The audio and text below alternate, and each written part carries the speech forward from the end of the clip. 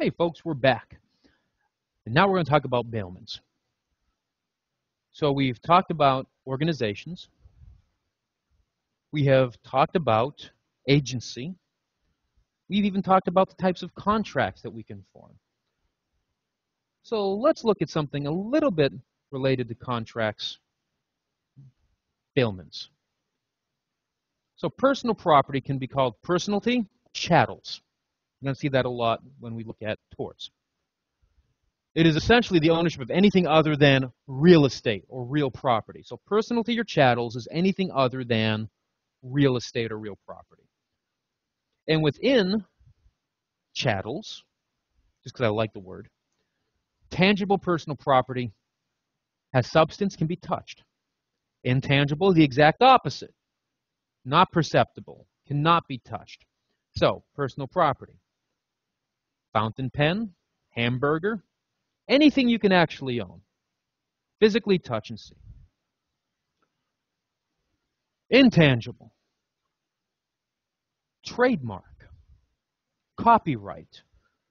Well, Professor Fin, you can get documents that prove you have it, which means you have a piece of paper that states it exists, but not the item itself. That's what we're looking at. That's the core of this. An interest in an intangible personal property, also called a chose in action, which means evidence of the right to property, but not the property itself. When property is physically attached to real property, it becomes known as a fixture, becomes part of the real property. If a business tenant physically attaches a personal property that is necessary to carry on the trade of business to the real property that they're using, it then becomes a trade fixture. Those may be removed by the business tenant upon termination of the tenancy. So, a person leases a warehouse from you and they open up a crematory. They open up a crematory and they bring in uh, a retort made by any one of the big manufacturers. B&L in Largo, Florida, Matthews, I think they're up in Apopka, U.S. Cremation, any of these guys. And you load in the $1,000 retort, hook it all up and all of that. Your business relationship with the warehouse. If you call it a trade fixture, you can take it and drag it somewhere else. Why would you want to do that? If you're making some money moving to a larger facility, that may be up to you, but realistically, those things are not cheap to move. But you may want to do that. However,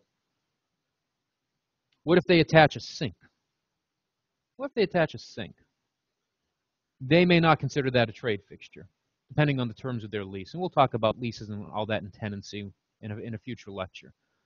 So for the most part, if it's there when you got there, it's a fixture, you leave it. If you replaced it, that might be subject for some discussion. Warranty. Sellers of goods often guarantee their products by making promises or statements of fact about them. This is known as an express warranty. It comes about when sellers make statements of fact or promises about the goods described or show samples of them.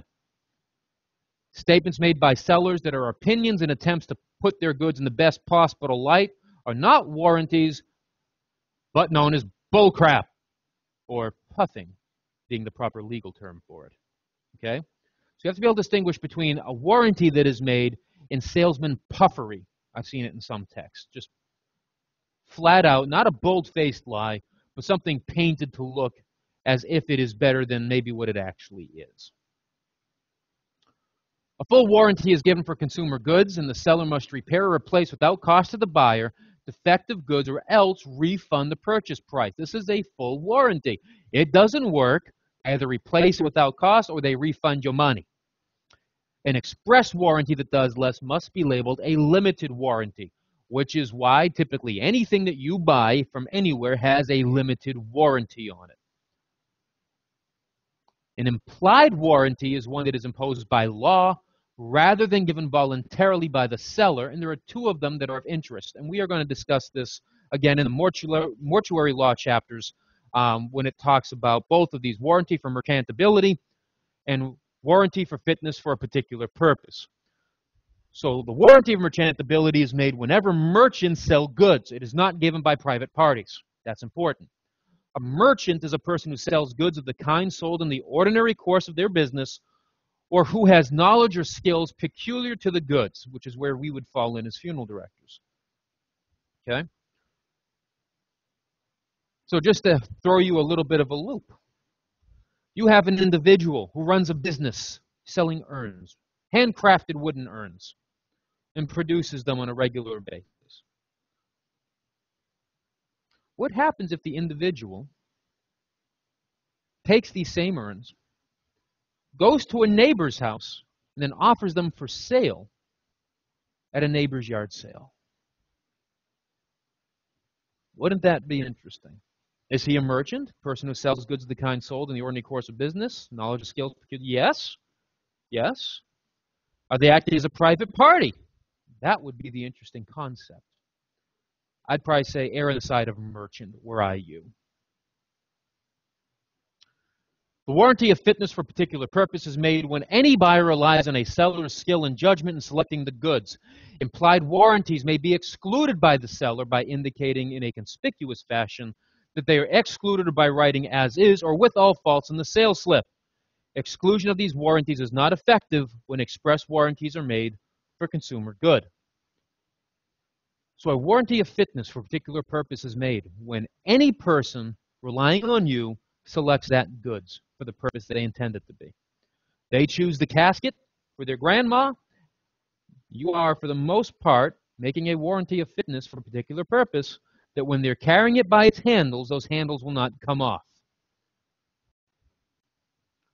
A final warranty is warranty of title.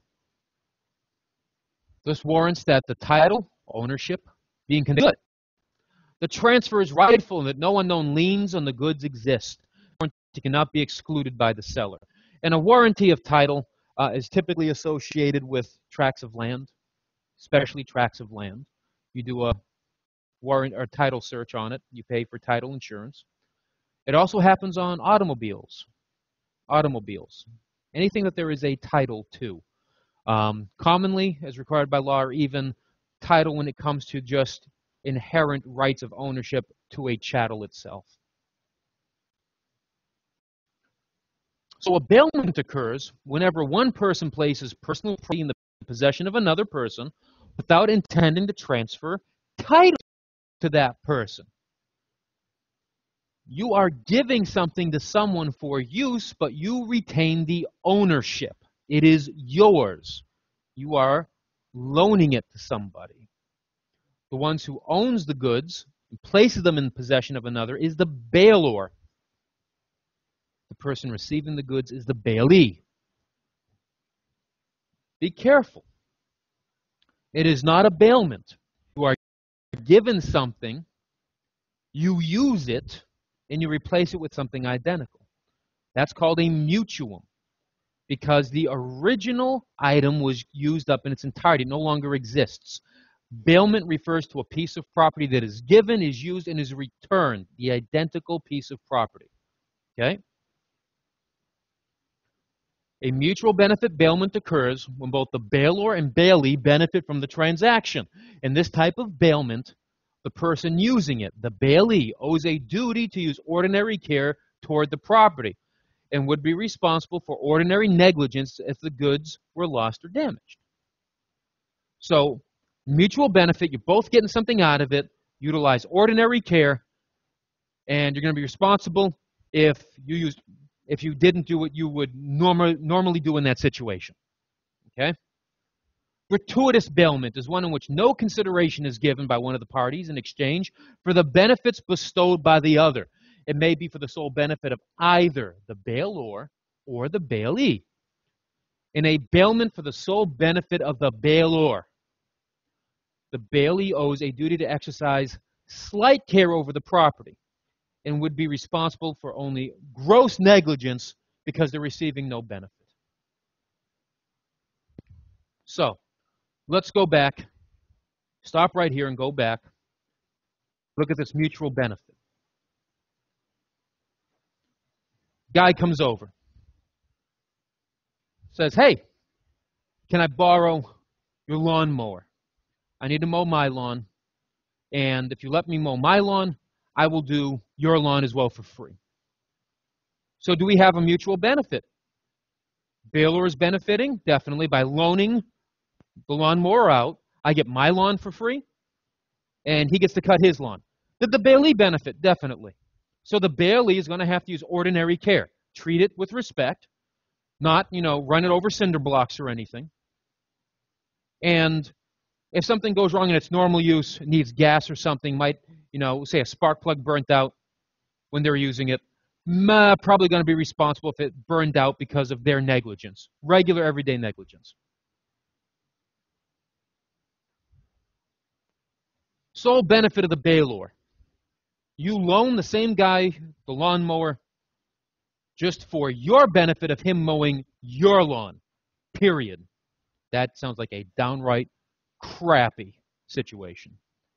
Well, the person using the equipment only has to exercise slight care over the lawnmower and would only be responsible if something was totally stupid on their part. So, I mean, we're looking at like Darwin Award winning use here. They take it and they are knowingly running this thing over two by fours and rocks and all sorts of other stuff. So by the time you get it back, it is destroyed. Like it still turns on, but the blades are completely shot. There's holes through the chassis. It's done. That would be like gross negligence. Sole benefit of the bailee. The bailee owes a great duty of care with the property and would be responsible for even slight negligence in the event of loss or damage. So you go and you use the lawnmower to mow your lawn without doing the owner's lawn. You need to make sure that thing is probably in better condition than you received it. Right? Great duty of care.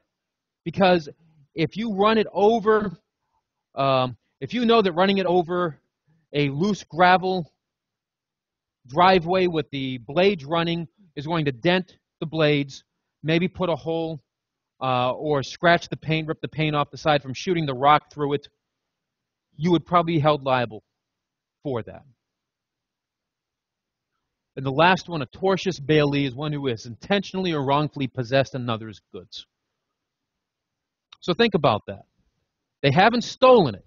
Okay, they haven't stolen it. That's going to lead into another tort um, for a much deeper conversation, conversion, for instance.